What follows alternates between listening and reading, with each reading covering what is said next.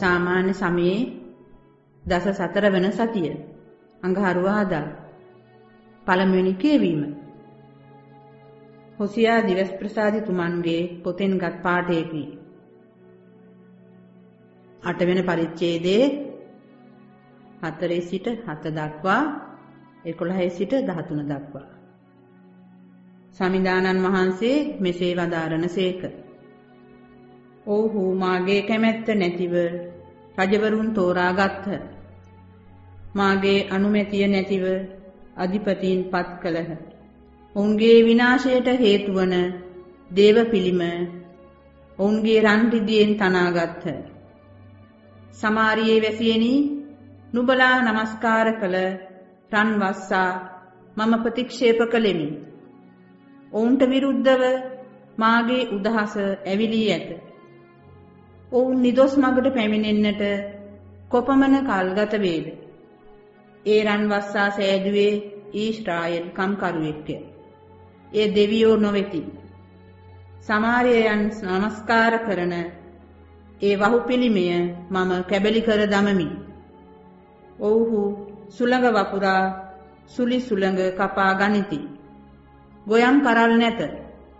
කරල් තිබුණත් විදේශීන් ඒවා ගිල දමනු ඇත.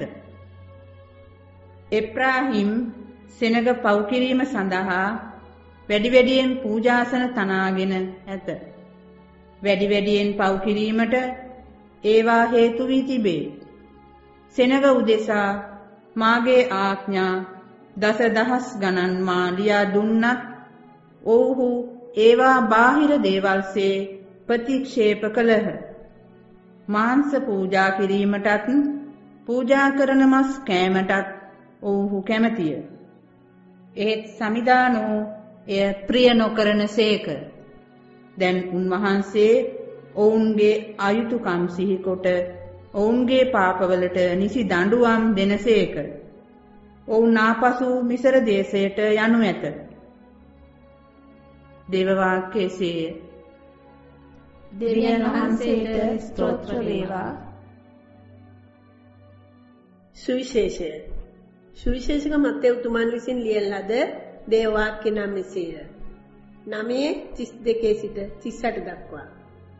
ජේසුස් වහන්සේගෙන් සුවය ලැබූ අන්ධයන් පිටත් යද්දී යක්ෂා වේශ වූ ගොළුවෙක් උන්වහන්සේ වෙත ගෙන ලද්දේය.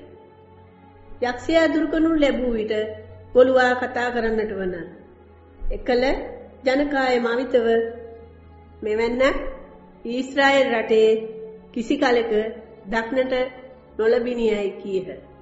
එහෙත් පරිසිවරු කතා කරමින් මොහු යක්ෂයන් දුරු කරන්නේ යක්ෂාධිපතියාගේ අනුහසින් යයි කීහ.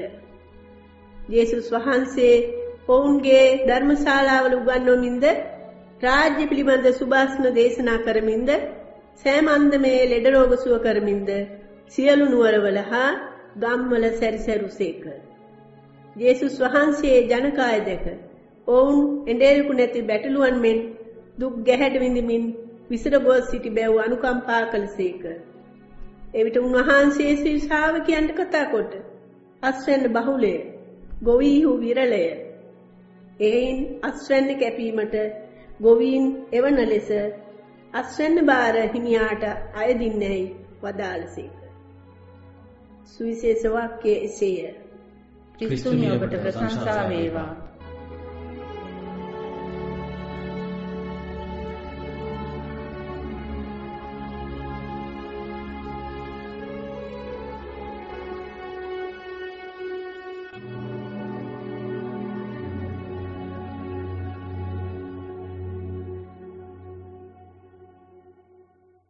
ක්‍රිස්තුතුමන් තුළ ප්‍රේමවන්ත සොයිර සොයිරිනි.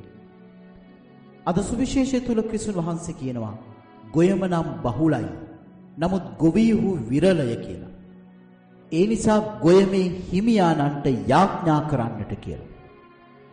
ද ප්‍රේමවන්තයනි මෙතන අපිට ප්‍රකාශ කරන්නේ දේව කැඳවීම පිළිබඳව. ඒ කියන්නේ දෙවියන් වහන්සේගේ රාජ්‍ය ප්‍රතිතරිත කරන දෙවියන් වහන්සේගේ රාජ්‍ය වෙනුවෙන් සාක්ෂි දරන දෙවියන් වහන්සේ වෙනුවෙන් සාක්ෂි දරන අය තව තව මේ ලෝකයේ තුල උදා වෙන්නට කියලා දෙවියන්ට යාඥා කරන්නට කියලා. දැන් ප්‍රේමවන්තීනි මේක කියද්දී අපි බොහෝ වෙලාවට හිතනවා මේ දේව කැඳවීම කියලා කියන්නේ ස්වාමිලා සිස්ටර්ලා පමණයි කියලා. නමුත් අද දවසේ අපි දකිනවා මේ දේව රාජ්‍ය ප්‍රතිනිධිත කරන්නට උත්සාහ දරන්නේ දෙවියන් වහන්සේ වෙනුවෙන් සාක්ෂි දරන්නේ වැඩි වශයෙන් ගිහි ජනතාව. ඊටත් වැඩිය ඒ සඳහා අවස්ථාවක් තියෙන්නේ ගිහි ජනතාවට. මොකද අද ගිහි ජනතාව සමාජය තුල මහා ප්‍රබලව ක්‍රියා කරනවා. මේ ගිහි ජනතාව අද අපගේ ශුද්ධ වූ ස්වභාව තුල අපගේ මීසම් වල බලගතුව වැඩ කරනවා වැඩ කටයුතු වල නිරත වෙනවා. ආ එහෙමනම් මේ දේව රාජ්‍ය ගොඩනැගීමේ කාර්යය ස්වාමිලා සිස්ටර්ලා පමණයි කරන්න කියලා අපි හිතුවොත් ඒක ගිහි ජනතාවට අපි කරන අසාධාරණයක්. අන්න ඒක නිසා ප්‍රේමවන්තයනි ඔබ හැම දිනාම මොහොතකට හිතන්නට ඕනා. අපි හැම දිනාම මේ දේව රාජ්‍යයේ අස්වැන්න වගේම මේ අස්වැන්න ගොඩනගන අස්වැන්න වවන ඒ නෙලන ගොවීනුත් අපි ආයෙමනම් අපි අස්වැන්න පමණයි කියලා අපිට පැත්තකට වෙලා ඉන්නට බෑ. අපි මේ ගොවීන් කියන කණ්ඩායමකට එකතු වෙලා මේ දේව රාජ්‍ය පතල කිරීමේ කාර්ය ක්‍රියාකාරීව ඉටු කරන්නට ඕන. ඒක තමයි දෙවියන් වහන්සේගේ සැලැස්ම. ඒක තමයි දෙවියන් වහන්සේගේ කැඳවීම. අනේක නිසා ප්‍රේමවන්තේනි අපි මෙතෙක් කල අර දේව කැඳවීම පිළිබඳව පාරම්පරිකව හිතපු ක්‍රමවේදය වෙනස් කර ගන්නට ඕන. අද පවුලක් තුල අම්මා තාත්තා කියලා කියන්නේ ඒ පවුල තුල දෙවියන් වහන්සේ වෙනුවෙන් සාක්ෂි දරන අය. ඒ දරුවෝ යහපත් වෙලා සමාජයට යහපත් පුද්ගලයෝ බවට පත් වෙලා ඒ දරුවන්ගේ ජීවිත තුළින් දෙවියන් වහන්සේව අන් අයට ප්‍රකාශ කරද්දී ඒ කාර්ය වෙත ඔවුන්ව යොමු කරපු අය තමයි දෙමව්පියෝ.